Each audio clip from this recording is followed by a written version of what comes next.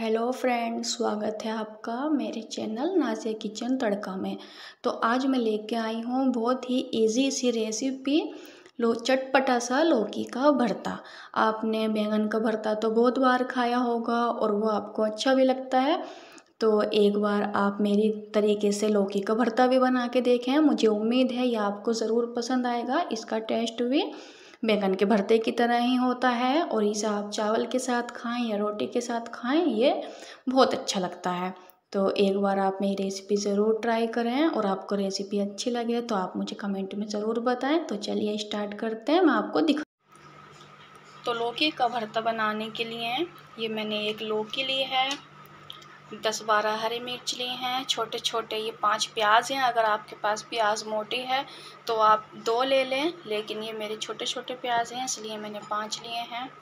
और ये हमने तीन टमाटर लिए हैं, अब इनमें सारे वेजिटेबल को धो के काट लूँगी तो मैं आपको काट के दिखाती हूँ।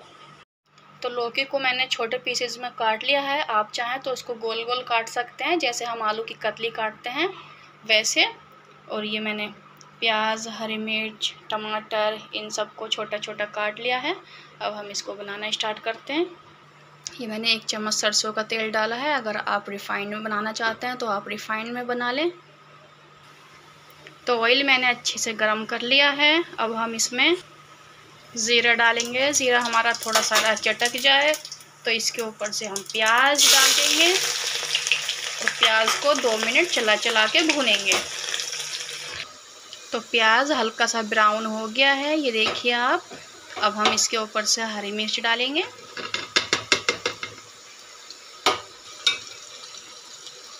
चला दें इसे। और दो मिनट तक इसको भी हम भूनेंगे। हरी मिर्च दो मिनट भूनने के बाद इसके ऊपर से टमाटर ऐड कर दें। और इसको हम चला देंगे।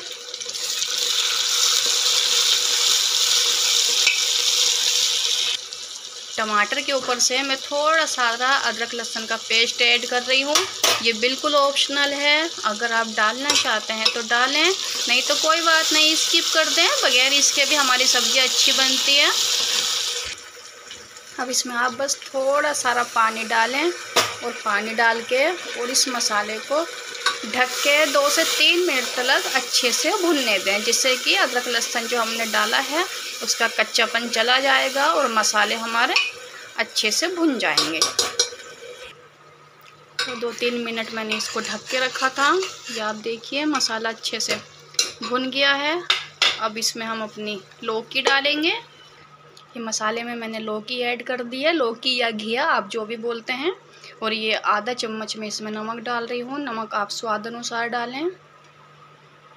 और आधा चम्मच से कम ये मैं इसमें हल्दी पाउडर डाल रही हूँ कलर के लिए, क्योंकि हमने इसमें लाल मिर्च नहीं डाली है। और ये एक चम्मच कस्तूरी मेथी है, ये मैं फ्लेवर के लिए इसमें डाल रही हूँ। अगर ये आपके पास है, अवेलेबल है तो आप डालें। और नहीं है तो आप स्किप कर दें। आप इसमें थोड़ी सारी धनिया पत्ती डाल दें। ये एक कप मैं इसमें पानी ऐड कर रही हूँ। पानी डाल के इसको चला दें। और चला के ढक्कन इसका हम ढक देंगे और इसमें फिर विसल लगाएँगे। कुकर का ढक्कन मैंने लगा दिया है और आप फुल फ्लेम पे ही रखें। जब कुकर में अच्छे से सीटी भर जाए तो आप फ्लेम को स्लो कर दें और स्लो स्लो पे इस पर चार से पाँच विसल लगा लें। तो कुकर में चार से पाँच सीटी आ गई हैं। अब हम फ्लेम को करेंगे बंद और कुकर को ठंडा होने देंगे, फिर हम इसको खोल के देखेंगे। तो कुकर मैंने खोल लिया है, ये देखिए, मैंने गैस जला ली है। अब हम इसको फुल फ्लेम पे दो मिनट चला चला के भून लेंगे, उससे इसका तेल ऊपर अच्छे से आ जाएगा। और अगर आपको ऐसे ही खाना है तो आप ऐसे ही रहने दें, और अगर आपको मैश करके पसंद है तो आप इसको साथ साथ ऐसे ऐसे मैश करते रहें तो ये अच्छे से मैश हो जाएगा। ऐसे भरता तो ऐसे ही अच्छा लगता है।